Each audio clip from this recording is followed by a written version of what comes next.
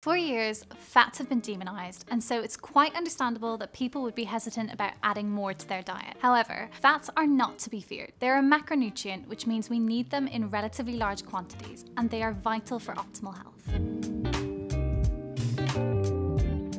My name is Elle, and I'm a registered dietitian specialising in sports nutrition and disordered eating. In this video, we're going to look at the importance of fats in our diet, break down the myths, and look at how you can add more healthy fats into your diet. Fats found in food are mainly made up from triglycerides, which are made up of a unit of glycerol and three fatty acids. Each fatty acid is a chain of carbon and hydrogen atoms. Fats are classified based on their chemical structure, with saturated fats having all single bonds between carbon atoms and unsaturated fats having at least one double bond in their fatty acid chain. Saturated fats tend to be solid at room temperature, with unsaturated fats usually being liquid. Fats are required to provide essential fatty acids, provide energy, and are also necessary for the absorption absorption of fat-soluble vitamins A, D, E, and K. Fats form the basis of cell membranes and are required for the production of certain hormones like estrogen, progesterone, and other steroid hormones. We know that fats are really important, so how did we end up here fearing fats? Fats have been vilified for decades. As always, nutrition science has evolved a lot since then, so let's explore some of the myths around fat and whether they still stand true today.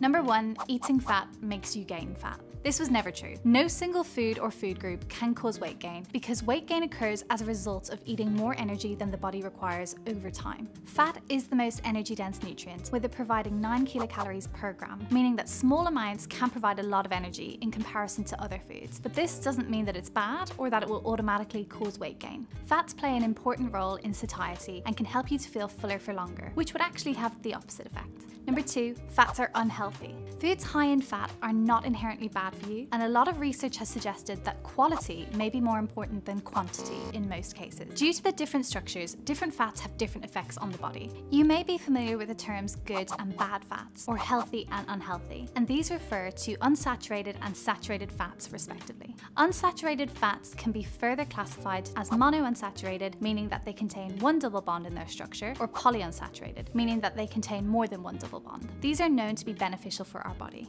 Monounsaturated fats are found in oils like olive and rapeseed oil, and in things like olives, avocados, nuts, and seeds, and are thought to have the greatest health benefits out of all fats. Polyunsaturated fats are found in most vegetable oils, in nuts, seeds, and oily fish. Omega-3 and omega-6 fatty acids are polyunsaturated fats, but they are also considered essential fatty acids because they cannot be made in the body and we must source them through food.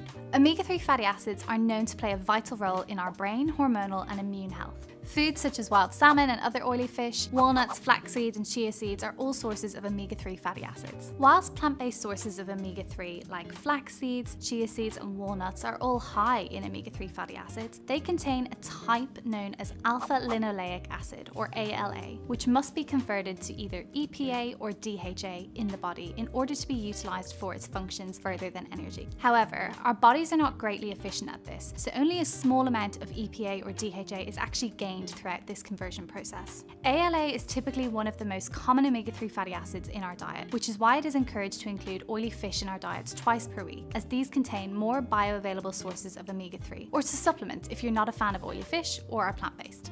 Saturated fats, which are usually found in animal products like meat, butter, and cheese and baked goods, have been blamed as the cause of heart disease for decades. This is because they can raise the total cholesterol in our blood. Cholesterol is a waxy substance that is required to make certain hormones, but high levels in the body can build up in the arteries and restrict blood flow, which increases the likelihood of cardiovascular related incidents like stroke. Like fats, cholesterol is often simplified into good and bad cholesterol. HDL cholesterol, which stands for high density lipoprotein, is considered our good cholesterol, with LDL cholesterol, which stands for low density lipoproteins, being bad. High levels of LDL cholesterol increase the risk of heart disease and stroke, as it can clog up arteries, which restricts blood flow to and from our heart. But HDL cholesterol helps to remove this bad cholesterol from the blood and takes it to the liver where it can be removed from the body. HDL cholesterol can therefore reduce the risk of heart disease and stroke. Unsaturated fats can reduce total cholesterol levels and specifically LDL cholesterol levels too, which is why it is encouraged to replace sources of saturated fat with unsaturated fats. However, more recent evidence has shown that the link between saturated fat and risk of heart disease is not as clear as we once thought.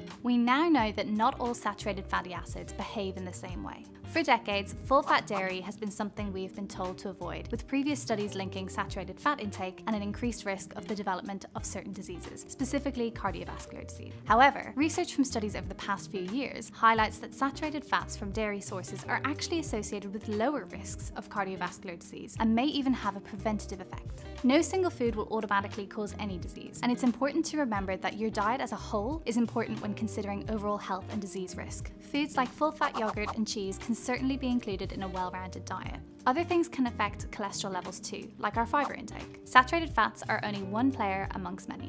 Trans fats are thought to have a negative effect on our cholesterol profile, more so than saturated fats. This is because they can lower HDL, or our good cholesterol levels, and increase LDL, or our bad cholesterol levels. Trans fats are mostly found in processed foods, as they are produced by hydrogenation, which is the process that turns liquid oils into a solid or spreadable fat. Trans fats are the only fat that we should aim to avoid wherever possible, and it's recommended that they provide no more than 2% of our total energy intake.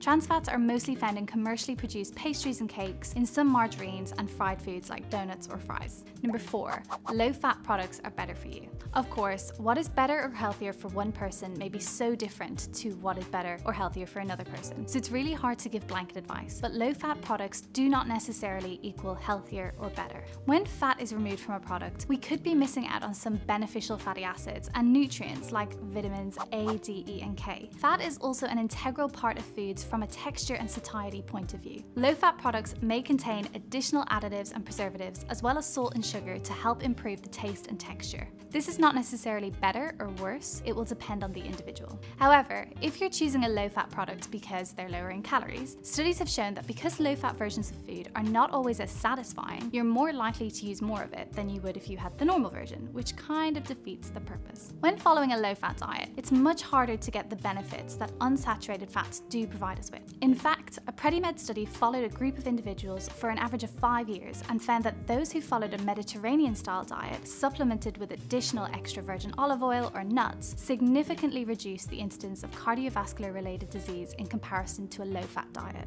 It is recommended that if you're cutting down on your saturated fat intake, that you replace saturated fats with unsaturated fats rather than cutting fat entirely out of your diet. Evidence has shown that when saturated fats are replaced with refined carbohydrates, LDL cholesterol levels and heart disease risk can actually increase. We also know that when we have too little fat in our diet, certain biological processes may not work as well. Consuming a low-fat diet can cause irregularities with menstruation in women and contribute to hypothalamic amenorrhea, which is the loss of a natural period due to an imbalance in energy and stress on the body, which could be caused by not eating enough or low intakes of fats or carbs. It has been shown that certain fatty acids play a role in fertility, with evidence showing that linoleic acid and omega-6 polyunsaturated fatty acid increasing the release of luteinizing hormone, which regulates the function of the ovaries in women and testes in men. We've explored the benefits of fats, so how can we include them in our diet? It is recommended that 20 to 30% of our overall energy intake comes from fats, and saturated fat intake should not exceed 11% of our total energy intake. To incorporate more fats into your diet, you could try adding things like nuts and seeds to porridge, yogurt, or salads and stir fries. Nut butters, avocado, olive and rapeseed oil are also great sources of unsaturated fat. Aiming to include a source of fat at each meal is a great way to ensure that you're getting enough fats in your diet.